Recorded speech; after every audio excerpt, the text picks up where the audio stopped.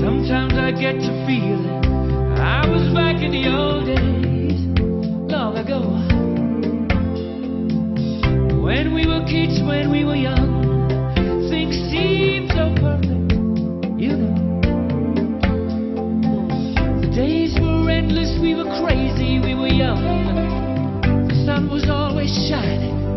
live above.